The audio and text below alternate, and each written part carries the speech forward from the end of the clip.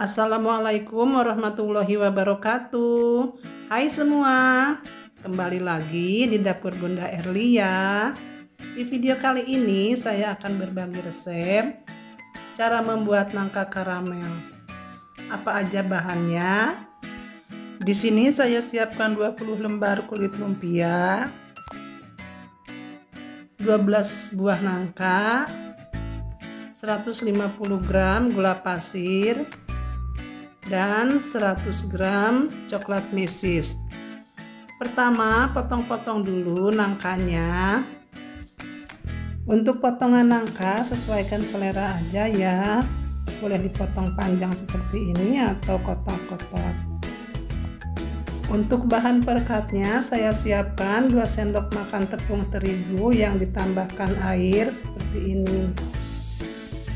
Sekarang ambil kulit lumpianya masukkan nangka lalu digulung jangan lupa kanan dan kirinya ini ditutup rapat ya.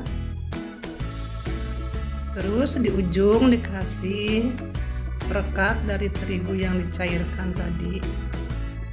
Nah seperti ini bentuknya. Lakukan sampai dengan selesai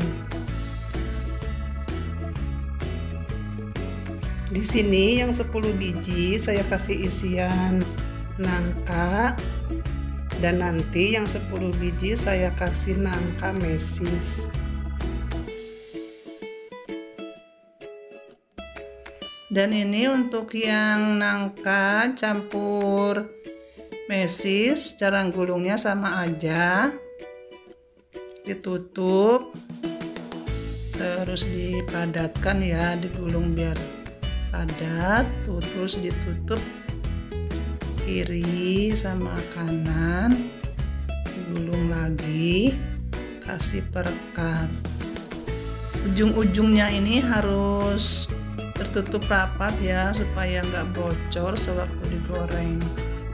Nah ini udah jadi semua 20 biji.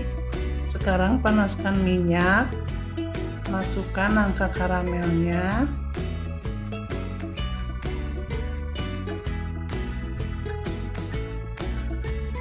Untuk karamelnya sekarang taburkan 1 sendok gula pasir. Kemudian diaduk-aduk. Ini gorengannya ini diaduk-aduk supaya karamelnya ini pada menempel di kulit lumpianya.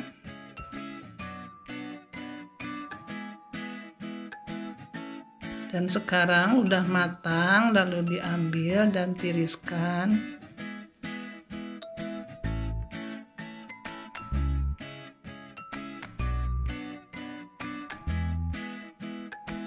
Sekarang masukkan lagi nangka karamelnya yang masih mentah.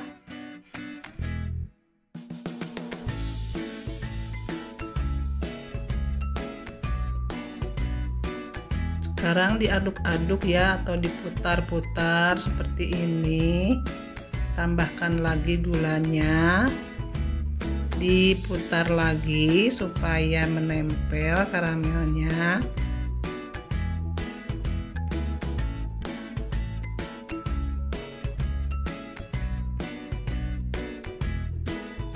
Nah ini udah matang kemudian diangkat ya. Kalau yang ini yang warnanya hitam yang isinya coklat. Kalau yang ini kuning isinya nangka aja. Jadi ada dua macam ya yang hitam sama yang kuning. Sekarang saya coba yang coklat dulu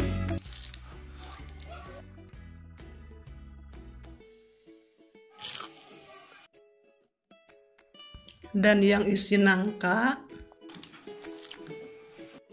ini rasanya enak sekali manis harum. Terima kasih sudah menonton. Assalamualaikum warahmatullahi wabarakatuh